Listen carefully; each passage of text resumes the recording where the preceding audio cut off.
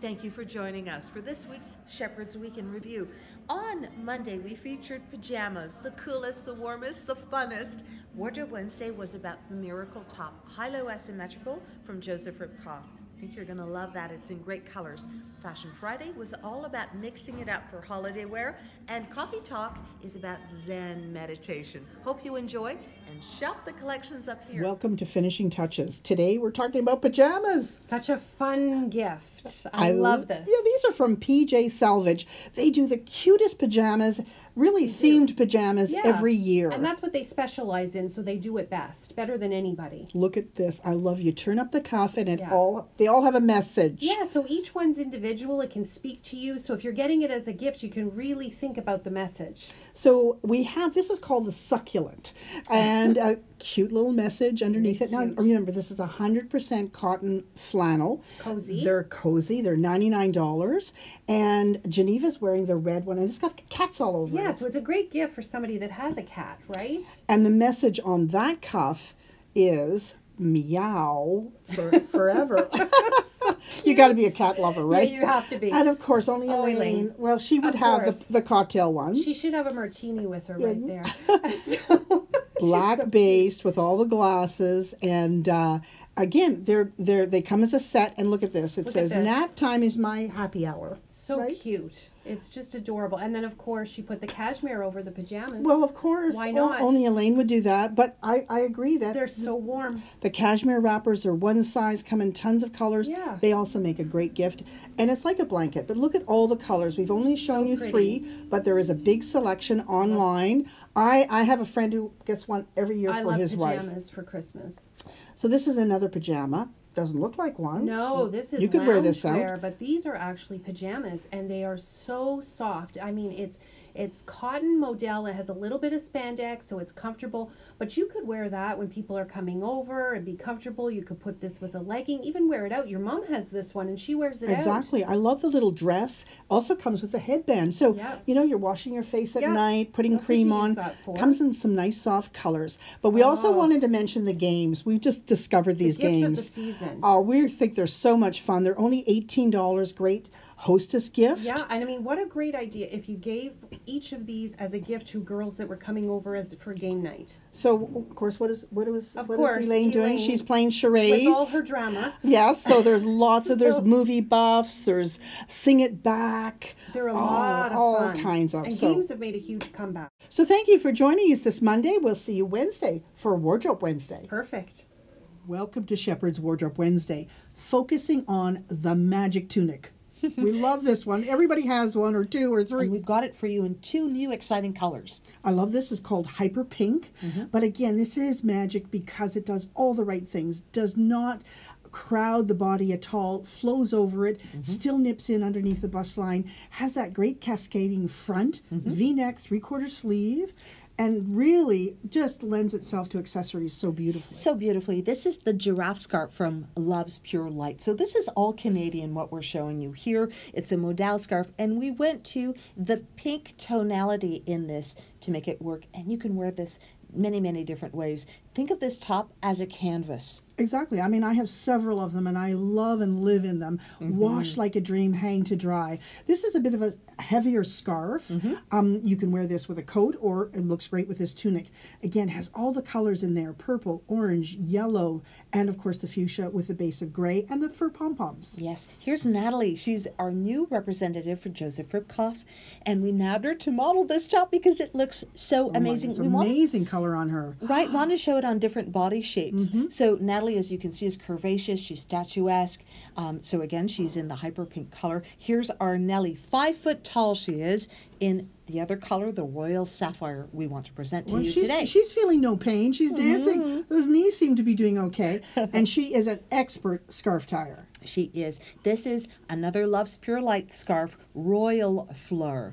And the pant is just a basic pant from Joseph Ribkoff. I, I call it basic, but it's a great black pant. There she is. Look at her doing her magic. Oh, she's so fast. And you know, she'd love to tie your scarf. If you came into Yes. the store, the store, she'd be very happy to show you a new trick. Ta-da! Yep. Okay, here back to Natalie. She's wearing the statement earring now with the royal sapphire top.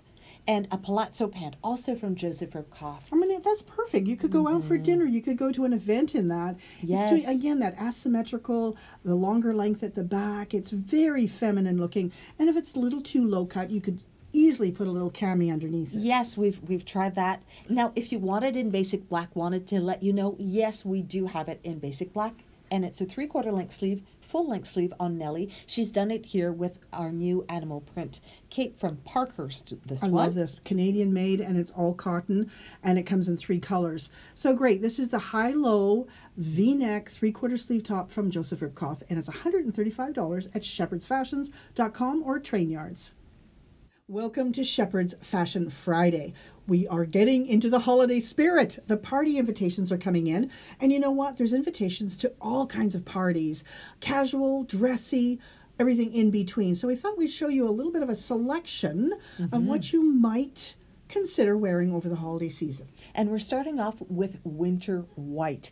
Um, so we took, a, well, our cashmere topper. It's a one size piece available in different colors, wearing it here in kind of that spicy tone mm-hmm, differently, caramel. right? Mm-hmm. And tied it up at the front. You could do so much with this. This makes a great holiday gift over winter white, as we mentioned. So it's all about the cardigan. Oh, and the fur accents. Oh, we had to add the fur. Really, mm-hmm. just I, I love a winter white look in the fall, uh, winter time. It's so elegant, and I love this cardigan.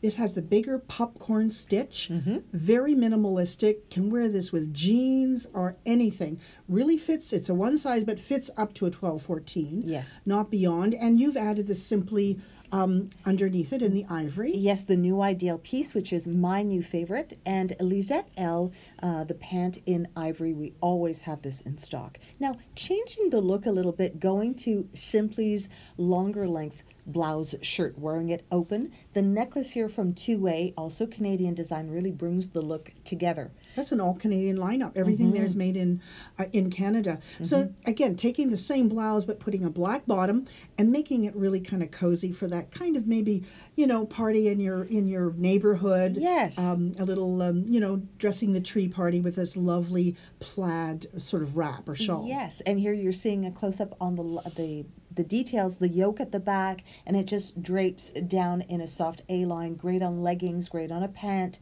Okay, and then we went to another color story, all about the soft grays. hmm So Teresa, our hostess with the mostest, has on um, a great pair of pants uh, by Lisette. Yes. And we've added this great sweater, beautiful sweater that's from Poland, and of course. Uh, finishing it off with this great scarf that has all the colors and the pom poms.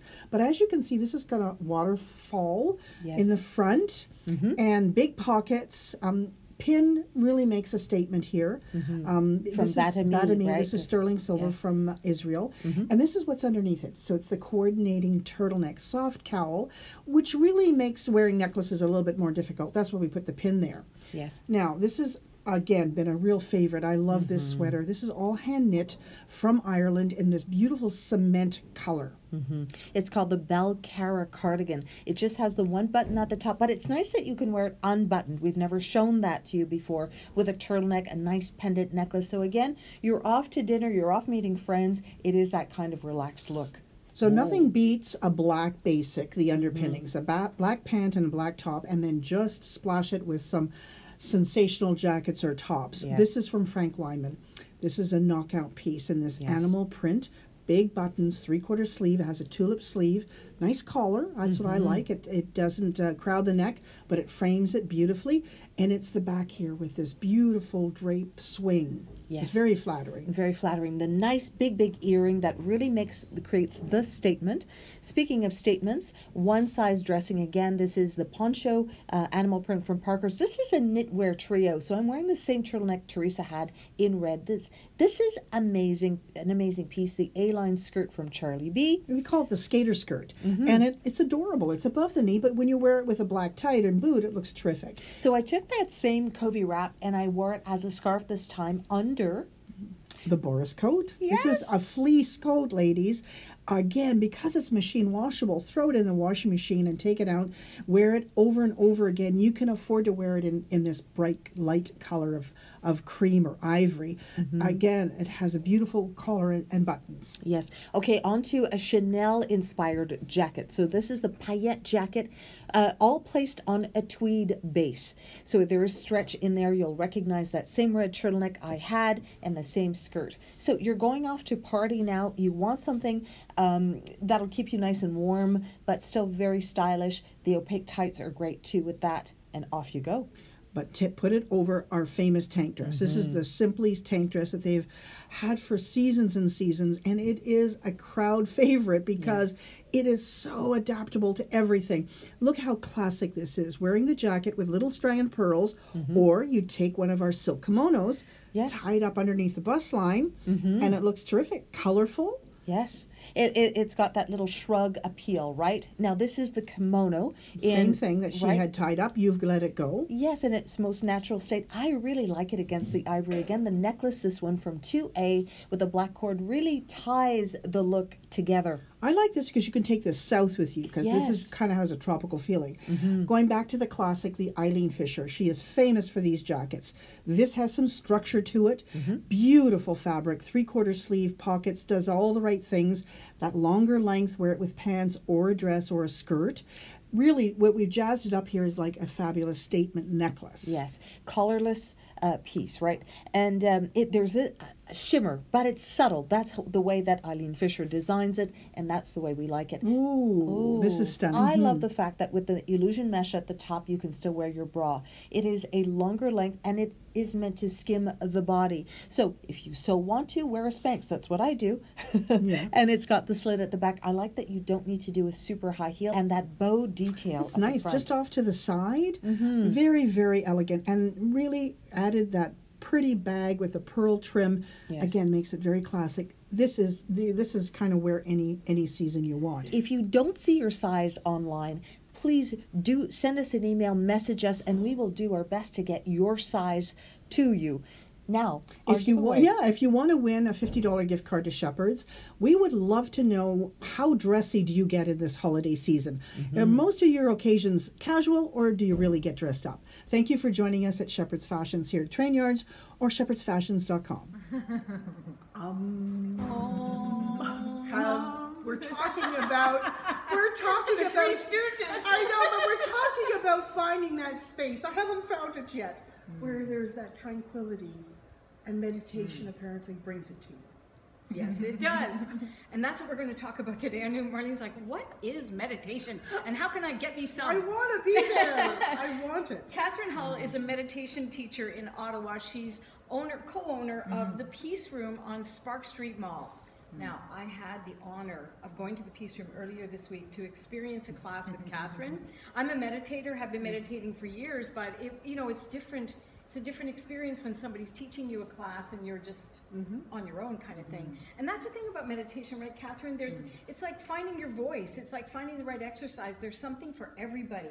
You have to connect with what's right for you. Yeah, absolutely. You have to try the different tools and really find one that's gonna that's gonna help you. And it doesn't have to be one way, where people often think there's one way to meditate. You know, like oh, like you said, you're sitting on a mountaintop Yeah, in the Himalayas. Yeah. You know, and uh, yeah, and you're finding inner peace. And there's only one way. Yeah, there's many ways. Right. Many ways. yeah. So, can we describe what meditation is and what its purpose is in our lives, I guess, here in North America? Yeah, absolutely. That's that's good to bring it into North American so we can relate to it. Uh, yeah, it's the act of letting go, uh, letting go, watching the mind, creating some space between you and your thoughts, where we often think we are our thoughts, and when we think we're our thoughts, they often trap us into this. You know, cycle that goes over and over or down the toilet, whichever way you want to think chatter, about it. chatter, yeah. chatter, yeah. And then that The creates an world is emotion. spinning. Yeah. it creates an emotional response in the body, and then that creates generally an action word. Sometimes we don't always feel good about how we've reacted to a situation, um, but again, that mind has just triggered us and the emotions and then the action. So meditation is the act of getting to know the mind You could call it like the mind musculature. It's like going to the gym, but for your mind. Yep. Uh, so you're able to get better acquainted with what this thing is doing, with the patterns, the words that are going on in that, the images, and then create a little bit of space between that and have some re, you know, more responsivity versus reactivity. So It's like having perspective. Yeah. On, on you're watching some freaking circus happening when you step back from your thoughts or above or wherever you want to Yeah, see your yeah, yeah. thoughts from you you're observing that it's kind of chaos in your mind i mean Mm-hmm. those thoughts are random very often they're not kind Mm-hmm. and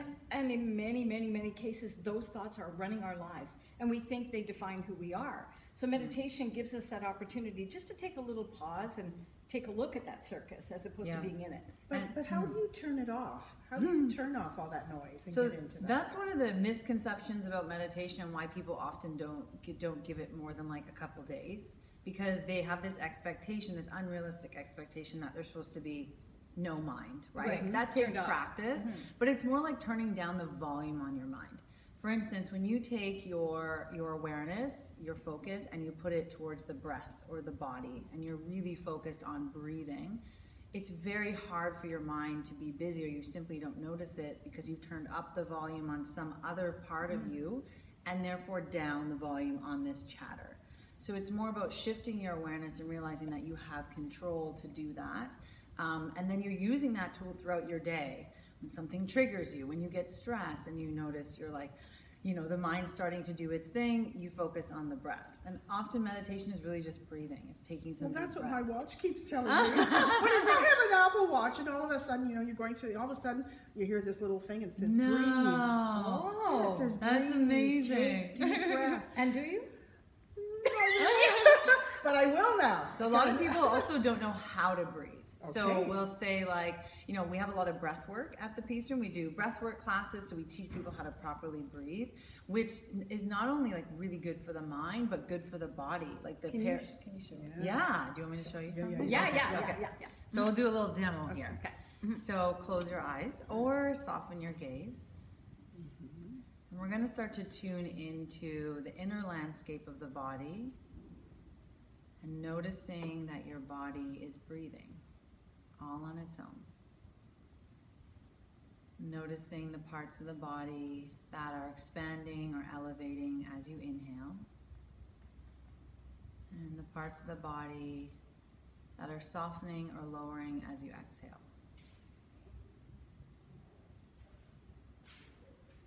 And then starting to invite a deeper, fuller breath into the belly area. Taking a deep breath in, expanding the belly in all four directions, and then exhaling gently out the mouth or nose.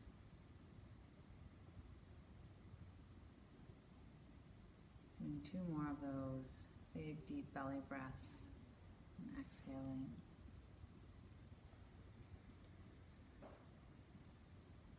And then opening your eyes when you're ready. Just want to. Wow. what do you think Well, I just thought about that. That's what I was thinking Right. about. I was not thinking Was about. Was your mind busy? Well, just thinking about your You didn't know. Yeah. yeah. I was It's not thinking of any problems or Hmm. issues. I was trying to get that belly yeah right right right breathing. Did So- you try it at home and did you feel what Catherine was asking for? It's that it is that kind of letting go of this Mm-hmm. to focus on where you are and who you are right here, right Mm-hmm. now. I have a great analogy for why meditation is difficult. Uh, it's that we spend so much time, if we think of this like our house, right? We have this one house for our lifetime here, and the head is like the front step. And we spend so much time like sitting on the front step. And when we open the doorway to go into the body of the house, it's really cluttered. So we've all seen an episode of Hoarders or know what that looks like to go into a space where it's like messy and things aren't organized and it, it just feels really not good to be there. Mm-hmm. So the body has these like bobos or triggers or stresses, you know, these these traumas that we've had maybe throughout life. And so when we meditate, we essentially are opening the doorway to go into the body, but then it brings up all this stuff. So it's not always easy. So the breath helps us to clean. You could think of it like decluttering that landscape inside the body and create more space mm-hmm. so we can be in our body and be fully present rather than being in our head or on the front doorstep mm-hmm. all the mm-hmm. time on our cell phone on the front door doorstep, not wanting to go into the house. So meditation is a way to bring us fully into our body. And when we're fully into our body, we're connected. We have less illness. We have lower stress. We have better health overall. And we're able to focus um, on tasks at hand. Like even as a business owner, we're able to focus more clearly and deal with the just natural stresses that, that come up. And it's as simple as breathing. What are the excuses you hear? I mean, I hear it too because I recommend in my courses and my coaching that people take up meditation just to Right. bring them into the present moment because right now everything is good over here. so, what do you hear from people about why they don't want to try this? Right. The biggest thing is they think it's uncomfortable. That's number one. So they think you have to be seated upright for a long period of time. So we have a you know a belief at the Peace Room that a comfortable body will receive meditation more easily. So lay down, uh, especially if that's what your body needs. If you're stressed, like just lay down, give the body some rest. Uh, the second thing is they think it might be too religious. That they're confused Okay. between religion and or spiritual. Um, there is a spiritual component, but there's also a lot of like health components Yeah. to meditation as well. Yeah. Exactly. Um, and science is doing more research all the time and proving the amazing benefits of meditation. And then they, they also feel like it will just be too hard. So the unrealistic expectation they said is that they're going to be like that that Buddha, that guru right away, Yep. and they don't realize like exercise or anything else, it's going to take time. Um, so I tell people like, will you promise me that for 30 days you'll meditate like five minutes a day, and you're not going to judge yourself Yeah. for Yeah. like trying to get to that outcome right away. Um, and that just like just take the pressure off. Yeah. This Yeah. this society we're in, there's always like this. We're goal driven. We want to get there High right away. expectations on everything, Yeah, right? If so- I don't get it And done right away, uh, yeah. you want it Instant. instant. You want that, Yeah. that secret pill that's going to fix everything. My my partners and I were we all come from the uh, fitness industry, and we were all like personal trainers for a long time. So we already understand the realistic expectations around health um, and around body uh, that people put on themselves. But on the mind, it's we're just starting to get to know what the mind is. I mean, we've spent centuries trying to understand the body, and we still don't understand it fully. And now we're going into the mind, and forget even emotional and spiritual nature, like well-being. We're just trying to focus on the mental well-being, and there's a mental health crisis in our, in our Yeah. especially in, in Western, uh, in the Western world. So the more that people can like give themselves that space, and it doesn't have to be perfect. It's just like exercise. If you were to do one good workout a week versus a little bit every day, you'd get more result with consistency. A little bit every day. Same thing with the mind. Even five minutes a Mm-hmm, day, a little bit every day is going to go further than, oh, I need to be doing an hour. Right. That's not going to really last you the full week, especially at the beginning. right. You need to be And you more. couldn't do a full full hour No, without not at the beginning. getting caught up in your thoughts. Well, how long do you do it? About 20 minutes. Every Okay. morning? Almost every morning. Yeah, Mm-hmm. I do yoga and then because originally going way, way, way, way, way back, that's what meditation was. Mm-hmm. Right. It was yoga was to set you up to stretch out your body so you could sit Mm-hmm. in meditation. So you prepare the body. She knows the history. Well, a little bit because uh, Yeah. for some reason I've been drawn to this stuff forever. Yeah. And and I and I see why it. uh, You said it, Catherine. Didn't you say it's like putting in in a bank account? Didn't you say something yeah, like that? yeah, It's like, in a depositing into your spiritual, emotional, mental bank account. yeah. It's, So it's you can take those withdrawals when life gets like really hard. Mm-hmm.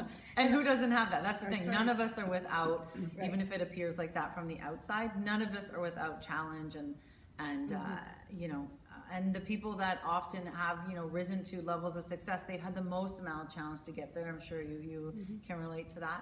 And so meditation is really key um, for helping us to navigate all of those challenges Mm-hmm. and not get pulled down by them. Yeah. Yeah, sure. and, and the best excuse is I don't have time. That's my favorite excuse that people, well, of course you don't have time if you don't make the time. Yeah. But you have the same time in your day as I do in mine, as Marlene and Catherine does in theirs. So we have to create that space for ourselves. And Yeah. again, going back to this idea that women are the leaders, we need to put ourselves first. Mm. If it's five minutes of your life, Mm-hmm. find a way, go online, find something, go to the peace room, cut yourself some Mm-hmm. slack and go to the peace room and have a nice 45 minute. It's like going to the spa for your mind. That's Yeah, what- it's what a I very think of. good It's analogy, so beautiful, yes. and I did feel very peaceful when I came out. Of that, I have to. It's really great. So, That's awesome. thank you very much for joining us You're today. welcome. Really you. appreciate it. You've inspired me. I think Yeah, I'll, thank I'll you. try it. Enjoy your vacation. Enjoy your Awesome. day.